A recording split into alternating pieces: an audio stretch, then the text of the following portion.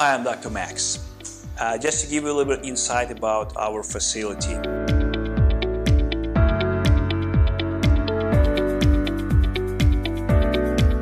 Since 2018, we've been honored to uh, become a training center for ARTAS IX and robotic hair restoration. We've been training uh, doctors from different states the art of performing robotic hair restoration. Many doctors who trained in our facility now uh, practicing successfully in their states.